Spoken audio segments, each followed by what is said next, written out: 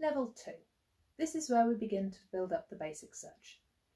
We need to see that your dog is indicating clearly on one scented item among a small number of unscented items. You can submit two or three different searches from the following. One scented item among five similar or identical items. One scented item among five random items. One scent hidden on four chairs or in a lounge type environment. One scent hidden on a wall or stretch of cupboards two metres in length. Ideally, we'd also like to see that this has been done in different areas, such as inside and outside. If your dog is retrieving or searches for a large item, such as a Kong or a pot of food, then you're going to need to make sure that this is hidden from your dog's sight. This would mean put it in, putting it inside a cardboard box or similar.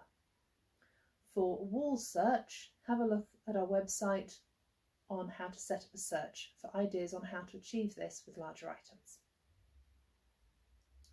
Remember, when you submit your video, we need to see that your dog is rewarded afterwards, that the scent was put out initially without your dog seeing, and that your dog has been allowed to search independently.